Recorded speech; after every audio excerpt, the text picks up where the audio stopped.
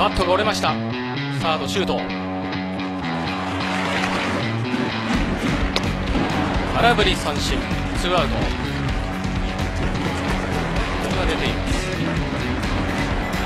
スルースリーランホームランは鮮やかでした。バットが折れた。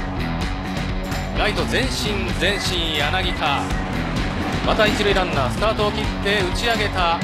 打球はセンターの前。セカンド牧原大成追いつきました。弾んだ打球はサードシュート。スリーアウト。空振り三振。最後はまっすぐ。打球は左中間センター。柳町。外から曲げてきた石川修太マーティンバットが出ませんでした。3回のマリーンズチャンスは掴んだんですがすよね。はい通りのしてんじゃないですかね。そうですね。えサード周東がさばきます。高めの速球空振り三振。石川のリズムを崩したいところですが空振り。打球は左中間。左中間伸びはもう一つです。え決して今のは厳しい球じゃないんですけどね。強い打球。いい当たりですが8番の安田。打球は右中間。伸びはもう一つですライト柳田が追いつきます。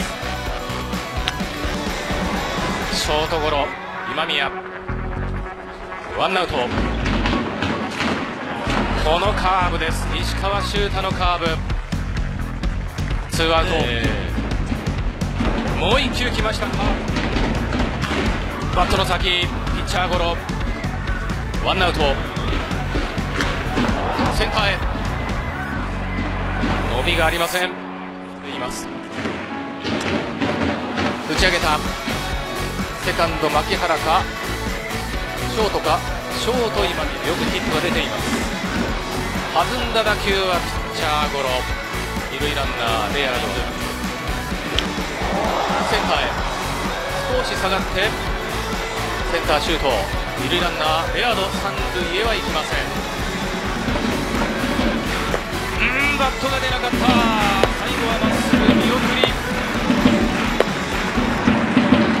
回裏のマリーンズノーアウト二塁のチャンスものにできませんでした。